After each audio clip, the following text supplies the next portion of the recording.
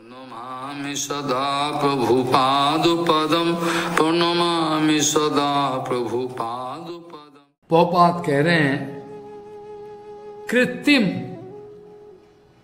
बनावटी, कृत्रिम रूप से, कृत्रिम आर्टिफिशियल बनावटी रूप से आपको ये कोशिश करने का दरकार नहीं है कि आप नाम भजन में प्रतिष्ठित है, आप रूपानुग भक्त हो। ये प्रमाण करने का कोई दरकार नहीं, क्योंकि अपने आप हो जाता है। ये प्रमाण करने का दरकार नहीं है।